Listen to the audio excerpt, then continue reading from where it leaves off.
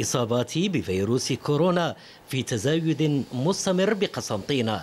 لتعود مصلحة كوفيد 19 للتشبع مرة أخرى. تقريبا رانا نعيشوا في نفس السيناريو تاع العام الماضي في نفس الوقت تقريبا في شهر جويلية وين لاحظنا بلي ارتفاع جد ملحوظ في الحالات الكوفيد 19 donc عدد المرضى اللي يتقدموا للمصالح المعينة في ارتفاع مستمر.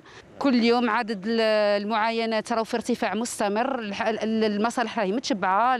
مصلحة الانعاش الطبي ثاني راهي متشبعه بالحالات الكوفيد 19 الأمر يحتاج للتوقف عنده بعد نداءات استغاثة من لدن الأطقم الطبية وبعدما وصل الأمر لما هو عليه. ولهذا لازم نحترموا هاد لي ميزور بارير هذو يرحم والديكم يا جماعة. بعد نهضر مع صاحبي. السلام عليكم. من بعيد. ندير الكمامة. نغسل يدي. واش نخسر فيه؟ ونمشي ندير التلقيح. راه مهم ومهم ومهم جدا.